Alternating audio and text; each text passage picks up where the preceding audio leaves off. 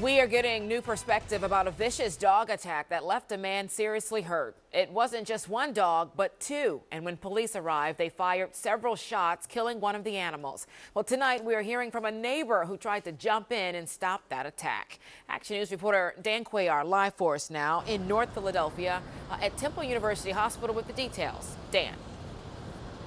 Sharrie, believe it or not, the victim is now in stable condition. What they believe saved him is police put tourniquets on both of his arms to stop the bleeding until they could get him to the hospital. There were also a couple of brave souls who witnessed the human slaughter and jumped in to try and help.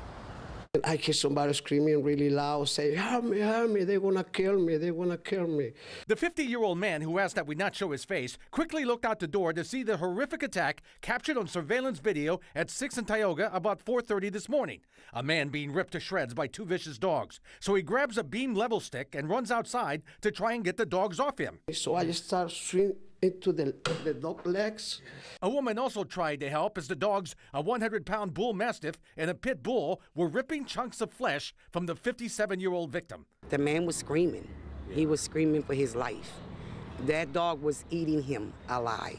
The dog threw against me and he started like trying to bite me so i just keep fighting with him. The good samaritans say the bull mastiff had sharp slicing teeth and very powerful jaws. To them this was no pet. It was an animal. It was a monster. It was something from a tv scene. Like it was crazy. You scared? Yeah i was scared i was ready to jump into a car. Finally they hear the sound of police sirens moving in. When it's when i see the police coming all the police cars so i say oh thank god Police had to shoot the dogs, killing the bull mastiff. The pit bull got away. The victim rushed to the hospital in very critical condition. Residents had nothing but praise for the three officers who responded. For you to be able to come out and shoot two dogs that's chewing on top of a human being and just hit the dogs and not hurt that human being, you're awesome.